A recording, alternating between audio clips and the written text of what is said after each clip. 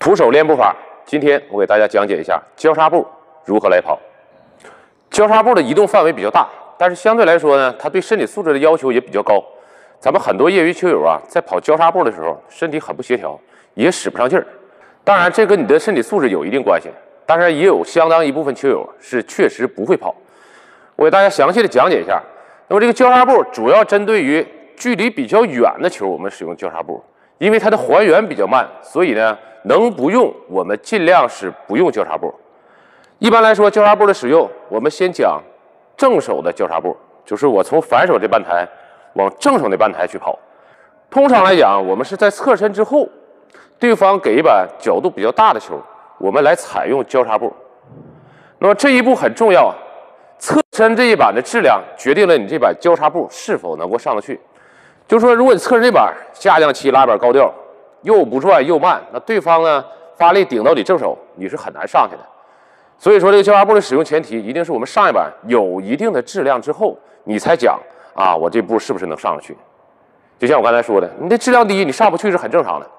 好，我们侧身，比方说正手拉了一板，那么这个时候你想往那个方向去跑，直接跑肯定是不行了，因为这个球台的边缘它挡着你。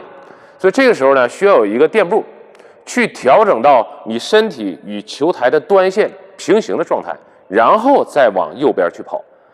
也就是说，我们拉完球之后，这一步很重要。那么这个垫一步啊，我们在空中还要完成一个事情，你要记住，交叉步的使用一定是你右脚的脚尖指向你要跑动的方向。比方说，我在这跑交叉步。如果你的脚尖儿，你看我右脚脚尖儿朝前，这个时候你交叉是使不上劲儿的。好，大家看一下，这样。那么交叉步和我们通常的这种短距离的跑动是不一样的。我之前讲过，比较近的距离，比如说我从左移动到右，我用正手击球，那么一定是我在脚落地的同时完成引拍。看清，哎，这我重心转过来了，是不是啊？我拍子也引完了，再看一下。那么交叉步不一样，你必须要先引拍，再进行铺正手，什么意思呢？我们不能在这儿啊，比方说脚对着这儿了，有的人做的不协调，就能做成这样。这个交叉步啊，一定是先把拍子引完之后，再往那边扑，还原引拍，然后再进行扑。接下来要注意的问题，一定是脚跟过渡到脚掌。就说你右脚啊落地的时候，应该是这种感觉踩下来哈，这种感觉踩下来，在这儿连一下，击球还原，看清我的右脚哈，击球还原。那么还原之后，你这个直接就把右脚的脚尖指向你要跑动的方向，同时落地的时候已经完成引拍了，重心压到右腿，身体往右后方转动。那么接下来就是比较重要的环节了，怎么来扑？扑的时候啊，我们是在空中完成的击球，不要等脚落地了再击球。有的人呢身体腾不起来，他偏走的那种感觉，他在这儿，很多人做成这样，这个身体啊腾空是什么意思？俩脚都要离地，身体呢有点飞出去或者叫跳出去这种感觉，找这种感觉，看清了吧？身体要有腾空。那么在空中完成击球动作。有的人不会挥，就是说这个手到底是先挥拍还是先落地呢？记住了啊，是先挥拍，然后左脚落地，右脚落地。